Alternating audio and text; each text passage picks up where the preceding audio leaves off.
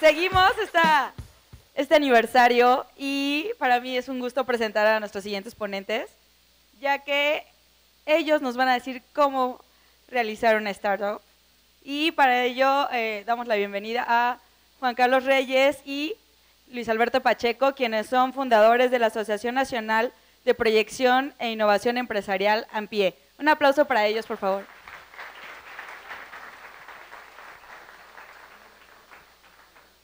Hola, ¿qué tal? Buenos días. Pues más que platicar cómo hacer una startup, vamos a platicar qué es lo que busca un inversionista para que ustedes puedan desarrollar una startup. ¿Qué es lo que busca la persona que pone el dinero para que ustedes desarrollen su negocio? Ya sea una idea como tal, una startup. De hecho, el tema es pues, de startup, de la idea del negocio, cómo esa idea que están fabricando en su mente, cómo tienen un diseño, una idea, una idea innovadora, pueden llevarla a cabo a ser una empresa, desde un negocio pequeño hasta toda una, una empresa que pueda exportar y que pueda crecer teniendo sucursales en, otros, en otras partes del mundo. Vamos a empezar con la, con la presentación. Y en primer lugar, podemos mencionar que todos somos fábricas de ideas, pero solo unos cuantos pues, podemos llevarlas a cabo. Solo unas de ellas se pueden eh, desarrollar, solo algunas de ellas se pueden lograr debido a muchos factores. Unos de ellos son nuestras habilidades y son también las características que forman el equipo que está diseñando esas ideas. ¿no? Pasamos al siguiente, a la siguiente presentación. El tema es, ¿qué es un negocio innovador? Se ha hablado mucho acerca de la innovación, acerca de que nosotros podemos desarrollar o innovar productos o servicios. Sin embargo, ¿qué es lo que hace que un producto sea innovador? ¿Por qué si yo me pongo a vender X cosa no es innovador? Bueno, la definición que nosotros desarrollamos es que es un producto o servicio que no está disponible en el mercado, que tenga oportunidades de crecimiento y sobre todo que cumpla estos tres principios. Que tenga una tecnología nueva, desarrollada por el emprendedor, eso es algo muy importante, que sea una tecnología que ustedes mismos hayan desarrollado. Con tecnología no necesariamente tienen que descubrir el hilo negro para generar una nueva aplicación o un nuevo sistema operativo o un nuevo aparato pueden ser mejoras de, esos, de esas aplicaciones o de esos aparatos, pero que sí los hayan hecho ustedes como emprendedores, que incorporen nuevas aplicaciones o uso de tecnologías existentes, como bien les comento, que mejoren los procesos o los productos que ya existen, que permita abordar nuevos nichos de mercado. Esto es fundamental. Si su idea no, e, es innovadora, pero no llega a nuevos nichos de mercado, entonces la innovación no va a ser tan buena o no se va a desarrollar como ustedes lo desean. ¿Por qué? Porque esa necesidad ya está satisfecha. Y si ya está satisfecha, pues el mercado simplemente ustedes van a ser un competidor más. Pasamos a la, siguiente. ¿Qué es, seguimos con el tema de qué es un negocio innovador. En general, nuestro enfoque como emprendedores tiene a ser el de mejorar la empresa o el modelo de negocios en la, en la manera en que lo operamos. A veces la innovación radica no nada más en sacar un nuevo producto o un nuevo servicio, sino en cómo hacerlo. Eso, eso puede ser muy innovador. Si ustedes deciden hacerle competencia para hacer pan tipo como lo hace Bimbo, bueno, a lo mejor a eso no tiene nada innovador, pero si su proceso es distinto para hacer y entregar el mismo producto a un mejor precio, eso, eso se llama innovación. También a partir de, de este proceso, que uno es capaz de reconocer el valor real de las ideas, también la motivación con que ustedes lo hagan y la trascendencia de nuestra idea. Si esa idea que están teniendo para desarrollar nuevos procesos productivos trasciende y mejora los procesos en la industria, eso también es innovación y eso tiene mucho valor. No necesariamente tienen que vender el, producto final, sino también los procesos pueden ser vendibles, pueden ser capitalizables y eso tiene mucho, mucho valor en las industrias. Entonces todo eso incorpora lo que son los negocios innovadores, lo que son las ideas innovadoras, no nada más productos nuevos. Hay que quitarnos un poco de la mente el hecho de que solamente las cosas tecnológicas son innovadoras o que si son capaces de desarrollar un nuevo Facebook o un nuevo Twitter o cosas así, pues solamente eso es innovación. No, los procesos productivos, hay muchas innovaciones que se tienen que hacer y ahí hay un campo muy importante en el que ustedes pueden, pueden hacer. Nada más grábense estos tres puntos. El madurar, acelerar la idea. ¿no? El, hecho de que la maduren es muy importante. Hay veces que se queda nada más en el papel. Si no la maduran, no va a llegar a ningún lado. Entonces, eso, eso es muy importante. Pasamos a la, siguiente. Eh, planteense estas preguntas. Identifica algún problema que esté solucionando con tu idea. ¿Cuáles son las causas de este problema? ¿Quiénes son los involucrados? Eso es algo que nos va a ayudar mucho para poder generar una idea innovadora. La otra es propone una solución. ¿Cuáles son las soluciones para ese problema? Ya tenían identificado cuál es el problema, sea el que sea, el que esté en, su, en el lugar donde viven, en su escuela, eh, si ya tienen, trabajan en algún lugar, hay algún, alguna situación que puedan mejorar, bueno, ya identificaron el problema, ¿cuál es la solución? Entre más innovadora sea su solución, su solución, entonces los van a escuchar más. Y obviamente esa solución va a trascender.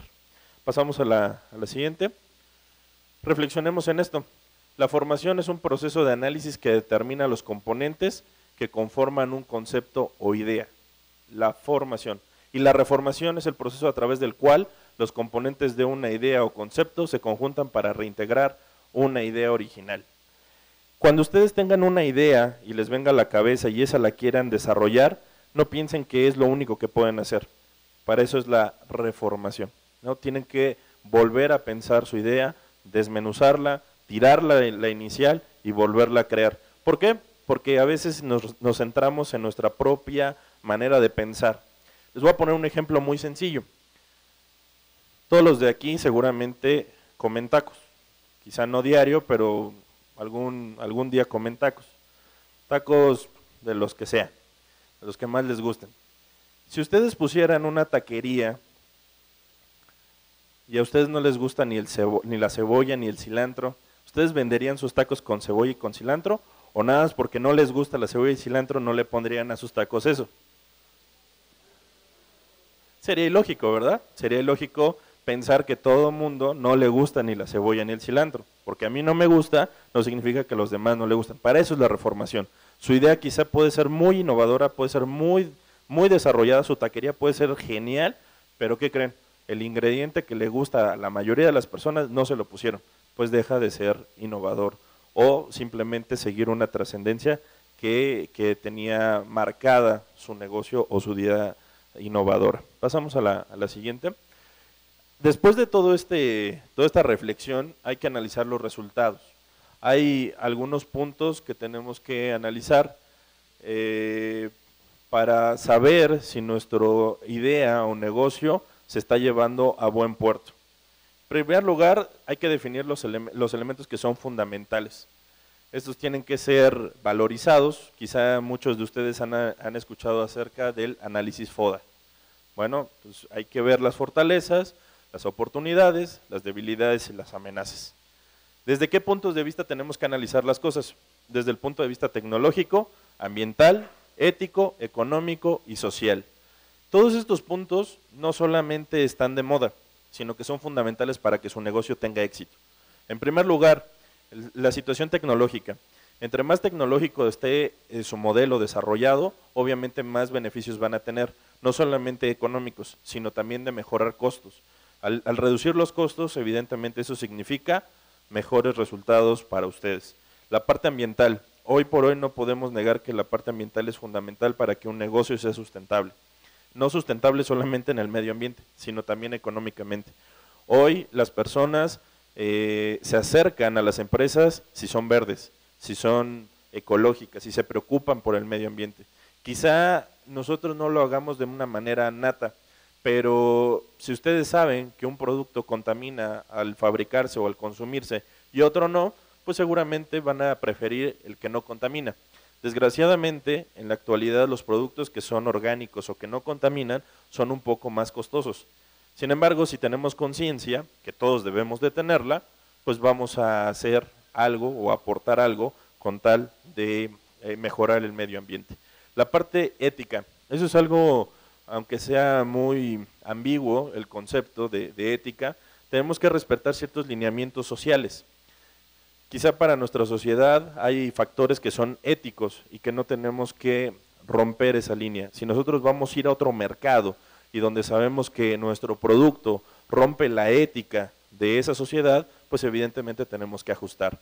Si nuestro producto tiene que ver con alimentos, por decirlo así, y sabemos que ciertas culturas no comen ese tipo de alimentos, pues evidentemente vamos a tener que innovar y mejorar nuestros productos. ¿Por qué? Porque rompemos la ética de esa sociedad. Entonces, evidentemente lo que queremos es captar al mayor número de mercados. Si eso lo rompe, pues evidentemente no lo vamos a conseguir. El punto de vista económico quizás es el más importante. ¿Por qué? Porque evidentemente va a ser la rentabilidad de nuestro negocio. Entre más nos fijemos en ese punto, pues evidentemente vamos a tener mejores resultados. Y el punto de vista social es eh, un poco del conjunto de lo ético, lo ambiental y lo tecnológico, en donde nosotros pues eh, simplemente veamos que no rompemos con los esquemas sociales que existen. Quizás rompamos paradigmas, pero no afectemos a la sociedad como tal. Pasamos a la siguiente. Ahí vamos a ver ahorita con, con Luis Alberto unos tips que que se nos mencionan, qué es lo que se necesita para poder financiar una startup, qué es lo que necesita ver el, inversionista. Ustedes ya tienen su idea, ya metieron el análisis FODA, incluso ya tienen su plan de negocios, más adelantito vamos a ver un tema del plan de negocios, eh, pero ¿cómo se lo vamos a presentar a ese inversionista? Eso es fundamental para que todos ustedes lo sepan. Los dejo con, con Luis Alberto.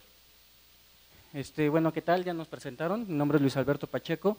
Y uno de los tips, vamos a ser muy, muy, muy, cortos en este aspecto. Eh, algunos tips para poder financiar la startup. Creo que todo nos importa y es una de las cuestiones más difíciles que tenemos en, en, cuanto a emprender un proyecto.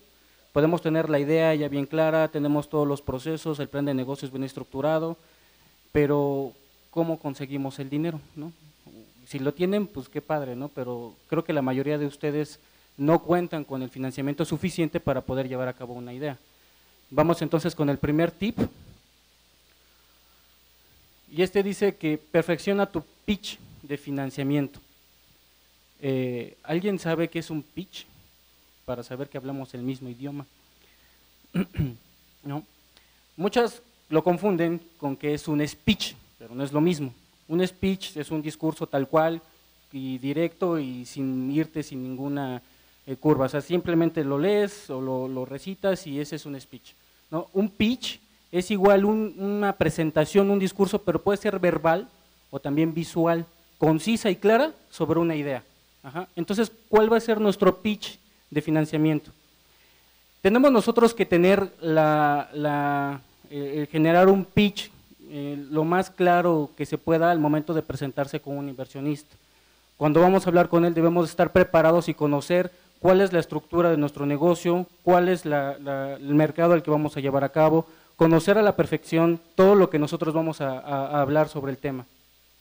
Y más que nada lo, que se, lo que se contempla para poder perfeccionar un pitch o ser bueno en, el pitch es que hablen el mismo idioma. Y no estamos diciendo que hablemos español y español o inglés y inglés, sino que si estamos hablando de negocios también sepamos sobre negocios cuando vamos a hablar con el inversionista.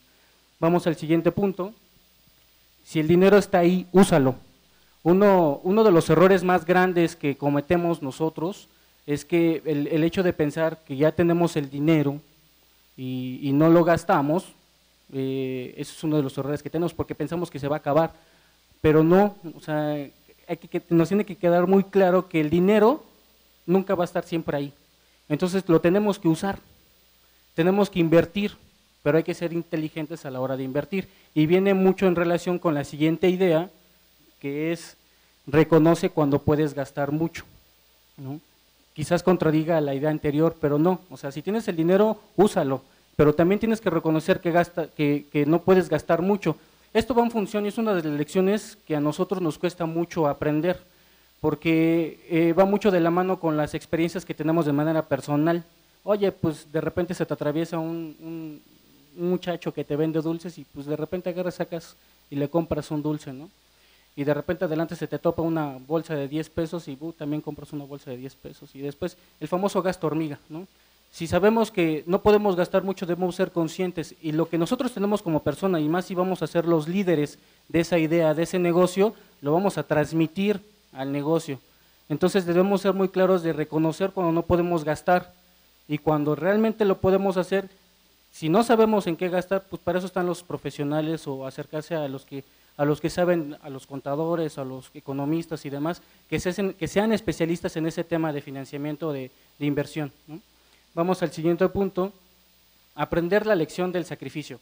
Aquí voy a citar a, un, una, a Churchill, eh, que dice, yo no tengo nada más que sacrificar, más que sangre, sudor y lágrimas.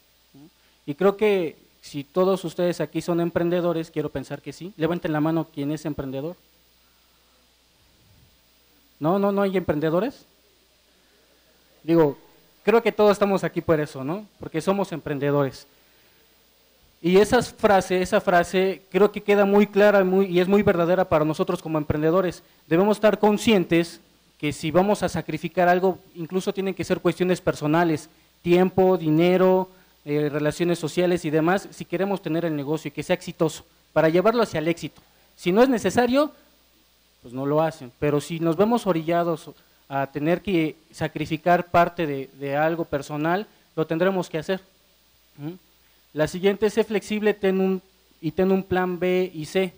Cuando nosotros tenemos una idea, ya tenemos ya como que mm, estructurado nuestro plan, ¿no? Vamos a funcionar así, vamos a ir con tal inversionista o de tal manera vamos a conseguir el financiamiento y ya. Pero ¿y si no funciona? Para eso debemos tener un plan B y C, pero tenemos que ser flexibles, porque no solamente hay una fuente de financiamiento que podemos obtener. Utilicen la que sea más cómoda y la más rápida de poder conseguir. Entonces, puede ser a través de un banco, puede ser a través de un inversionista privado, puede ser a través incluso de familiares, puede ser incluso, ya hay empresas hoy actualmente en Internet en las que pueden ingresar y, y hay como inversiones, se les llaman inversiones colectivas, en donde uno pone su idea y muchas personas invierten a la vez, y cuando se junta el monto de suficiente de su inversión, entonces el proyecto ya sale a, flote, ¿no? Entonces, son, son cinco ideas prácticas que les pueden ayudar a ustedes al momento de, buscar un inversionista para financiar su proyecto, y creo que es uno de los temas que más nos importan. Ahora vamos a lo que les interesa a los inversionistas. Voy a mencionar 10 cosas a lo que un inversionista busca cuando ustedes tienen una idea porque pues no nada más es así de que tú eres inversionista, yo vengo y te presento mi idea, pero a ti qué te interesa? Necesito saber qué es lo que le interesa al inversionista. ¿Ok? Vamos con el punto uno, un equipo apasionado. Al inversionista le interesa que en el equipo donde, que genera la idea realmente se interese en su negocio. Si yo soy el inversionista, veo que tú vienes conmigo y me ofreces tu negocio muy apático y demás, pues simplemente te voy a dar las gracias y ya no me va a interesar. Pero eso va a depender también de qué tan buena o qué tan mala sea tu administración para que el, negocio sea un, negocio exitoso. Entonces necesitamos ser apasionados y tener mucha pericia para hacer el negocio. Vamos al punto dos. El mercado que se dirija tiene que tener un gran potencial y que esté creciendo rápidamente. No hay que confundir. Muchas veces sí hay mercados que crecieron rápidamente y quizás nuestra idea, por eso se nos ocurrió decir, bueno, sí vamos a ese mercado porque pues ya creció, pero también no confundamos que hay mercados que aunque crecieron muy rápido ya están saturados. Entonces, ese, ese, eso no le interesa ya al inversionista. Un mercado saturado ya no va a invertir el inversionista, Son, a menos que tenga un gran diferenciador su proyecto, algo que lo va a diferenciar el valor agregado adicional de lo de los demás negocios. Pero si no tiene eso, no le va a interesar al inversionista. Entonces necesita tener que esté en un mercado que tenga un gran potencial y que esté creciendo rápidamente. Una tercera cosa que no quiere el inversionista es que no tengan barreras para entrar al mercado, principalmente de cuestiones externas a su negocio, mm, cuestiones de, legislación, cuestiones de mercado, o sea, que las leyes no lo permitan, obviamente pues no vamos a invertir en un negocio que la ley diga que es ilegal, entonces el inversionista no lo va a hacer. Necesitamos un negocio que realmente no tenga barreras para poner, poner el negocio. Tengan la habilidad y potenciar de volverse el jugador uno o dos. Si, vamos, si el inversionista ve que tu negocio es buena idea, mm, suena interesante invertir, pero no va a llegar más allá del mercado bajo, de, los ofertantes que realmente no tienen un potencial para crecer, no va a invertir. Tiene que ser realmente un negocio que, puede repuntar a los primeros lugares de ese mercado. Quizás nos tardemos 5 años, 8 años, 10 años en llegar en esa posición, pero que realmente tenga ese potencial para llegar. ¿ok? Si este tiene un producto, o sea, si su idea, lo que proponen es un producto, este debe tener una propuesta de valor clara para los clientes. O sea, debe tener un diferenciador muy claro. Si no, si no vamos, si vamos a vender nada más, hace ratito se dio el ejemplo, ¿no? De los tacos. O sea, si vamos a vender tacos, pues tenemos que ponerle algo diferente a esos tacos para que la gente vaya, algo diferente. Tienen que pensar en algo diferente, de ahí viene la innovación. Ese es trabajo de ustedes. Lo que le van a pensar que ponerle más o adicional o algo nuevo. El startup y su producto deben ser diferentes a sus competidores. Un buen startup tiene un, alto nivel de, una oferta diferenciada. O sea, hay algo muy claro que lo va a diferenciar de los demás. Si no lo va a diferenciar tan fácil o, de una manera muy clara, el inversionista no lo va a voltear a ver, no le va a interesar. Entonces eso viene tiene que venir muy claro desde que establecen su plan de negocios. En su plan de negocios viene de incluso como una de las eh, cuando realizan su FODA, una de las fortalezas que tenga su negocio, que tenga muy clara esa idea. La rentabilidad tenga un camino claro que justifique la evaluación. Creo que no hay inversionista que no le interese invertir en un negocio y que no sea rentable. Entonces necesitamos darle esa idea al inversionista de que nuestro negocio va a ser rentable, que le vamos a dejar dividendos claros al inversionista si, en la proyección o en la evaluación del proyecto no nos va a dejar una buena rentabilidad al inversionista, entonces mejor hay que pensar cómo innovar o cómo mejorar esa idea para que sí lo genere. Para dar una buena impresión, deben de existir, ya debemos de tener los clientes o ya debemos de tener otras personas interesadas en el negocio. Si apenas van empezando, bueno, hagamos caso omiso, pero qué mejor si nos acercamos a un inversionista y mencionamos que ya tenemos ya gente interesada en el negocio, quizás y hasta incluso contratos firmados con, clientes potenciales para hacer el negocio. Y eso le va a llamar mucho la atención al inversionista. Va a ser más fácil que puedan invertir en su negocio, en su idea. Y mm, para que sea rentable, debe tener el potencial de crecer hacia volúmenes más grandes para poder generar, o sea, ya lo habíamos mencionado anteriormente, y siempre se va a mencionar cuando un inversionista qué es lo que le interesa, pues es la rentabilidad, ¿no? que, que, realmente genere grandes volúmenes de rentabilidad. Y tenga baja resistencia de factores fuera del mercado, como fuera del gobierno, como fuera del gobierno, las organizaciones sociales, entre otros. Organizaciones sociales también llámenseles sindicatos. Si una idea y demás viene de la mano de un sindicato, mm, no le va a interesar mucho al inversionista. Son muchos problemas. No estoy hablando mal de los sindicatos, simplemente son muchos problemas el que un sindicato esté dentro de una idea de un negocio o cualquier otro tipo de organización que tenga injerencia dentro de la idea. Eh, es más difícil. Mejor si podemos quitar todo esto, si tenemos muy poca resistencia en ese sentido, va a ser muy atractivo para el inversionista. Entonces, llévense esa idea. Y bueno, por el momento ahorita eh, es todo eh, en cuanto a la presentación. Tratamos de ser lo más claros posibles en esta situación. Eh, la Asociación Nacional de Proyección e Innovación Empresarial está abierta a que ustedes con todo gusto puedan acercarse, recibamos sus dudas, sus comentarios y, si tienen alguna cuestión de que quieran consultar, con todo gusto estamos para servirles. ¿no? Hay un punto más, se le había comentado, que vemos que mencionarlo, ahorita Juan Carlos les va a hacer clara esa. Con el tema de, de cómo llegar al inversionista, hay una parte acerca del capital semilla y capital de riesgo. El capital semilla hay una diferenciación interesante entre estas dos. Capital semilla es exactamente lo que necesitamos para arrancar. El capital de riesgo es cuando ya estamos avanzado en nuestro negocio y podemos eh, solicitar más recursos para poder desarrollarlo. Vamos a, iniciar esta, esta parte. Como aquí ya se los mencionaba, el capital semilla es exactamente el dinero que necesitamos para arrancar la idea no tenemos una computadora, no tenemos un espacio donde trabajar, no existe las herramientas necesarias para poder arrancar, para eso es el capital semilla. ¿Quién pone el capital semilla? Pues lo ponen terceros, por lo general.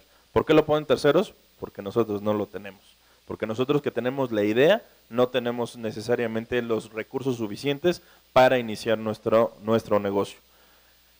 Usualmente este capital se destina a diferentes eh, rubros, entre ellos comprar activos y capital de trabajo iniciales, ¿no?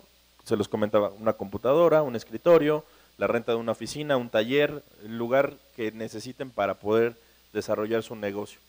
Eh, desarrollar prototipos o lanzar un producto o servicio al mercado, proteger una innovación, propiedad intelectual registros ante, la, ante el gobierno. Eso es muy importante. Si su negocio es muy innovador, si su negocio es totalmente nuevo y necesitan desarrollar una patente o algún registro, no lo duden. O sea, no, eh, no escatimen en el gasto que les va a generar el hecho de proteger su negocio o su idea, porque a la larga esto puede ser contraproducente. Si alguien más se queda con su idea y se la apropia, ya no hay forma de cómo ustedes la puedan recuperar a menos que le paguen y pagar ese tipo de cosas pues puede resultar muy caro porque pues es todo el negocio, es toda la idea. La constitución o puesta en marcha de una empresa. Una empresa generalmente les cuesta eh, alrededor, con el notario, alrededor de unos 11 mil pesos. Entonces, para ese tipo de cosas también sirve ese capital semilla. De hecho, nosotros les recomendamos dentro de la asociación, les, les recomendamos una, una forma de cómo dar de alta su empresa. E independientemente del nombre y a lo que se dedique su objeto social de la empresa, hay una modalidad fiscal que se llama SAPI. Quizá ustedes lo han escuchado, quizá no, que es Sociedad Anónima Promotora de Inversión de Capital Variable. Relativamente es nueva, pero lo que les da la ventaja es que si ustedes buscan inversionistas como empresa, a través de la SAPI puedan entrar esos inversionistas, pero no necesariamente se apropien de la idea o del negocio que ustedes están desarrollando. Simplemente los hacen inversionistas de su empresa, los hacen inversionistas de su negocio y ustedes son los que manejan las ideas, los conceptos y desarrollan el negocio. Entonces, eso es algo que nosotros se lo recomendamos. También este capital semilla sirve para hacer estudios de mercado, desarrollos de estrategia, promoción y publicidad, administración y ventas y sobre todo recursos humanos tampoco escatimen en el hecho de recursos humanos. Si necesitan una sola persona que les ayude, que esa persona sea la mejor, que sea una muy buena persona en la que ustedes pueden confiar. Si están asociados con su amigo, con su mejor amiga, con familia, está bien, pero hay veces que necesitan una persona más a quien contratar. Contraten a la mejor persona. Si necesitan un desarrollador de algo, contraten al mejor. Claro, que esté dentro de su presupuesto, pero que sea el mejor porque de esa manera va a garantizar que las personas que están formando su equipo sean los mejores. Pasamos a la siguiente. ¿Qué objetivo tiene como tal esta parte del, del, capital semilla y del capital de riesgo? Pues es fomentar la creación de nuevas empresas y negocios innovadores. Ya analizamos el tema de innovación, que se encuentran en etapa de incubación, despegue, a través de financiamiento de actividades que son claves para el proceso de la puesta en marcha. Cuando nosotros estamos en ese momento de poner en marcha nuestro negocio, pues es cuando más gastos hay, porque todavía no sabemos cuántos van a ser nuestros costos fijos. Cuando nosotros llegamos a la curva de saber cuánto tenemos de costos fijos mensuales, entonces ya podemos saber qué ingreso debemos proyectar. Antes no lo tenemos y por eso el capital semilla es muy importante. También es buscar el apoyo de levantar obstáculos o limitaciones específicas. Por ejemplo, si ustedes se enfrentan, están en su negocio y resulta que la renta donde estaba su taller para desarrollar su negocio le suben el, el costo, pues evidentemente eso es una limitación o eso es un impedimento o simplemente ya no caben en su casa donde están desarrollando su negocio y necesitan rentar algo, pues eso es un obstáculo, eso es una limitante que tienen que, que tienen que quitar para eso se necesita el capital semilla.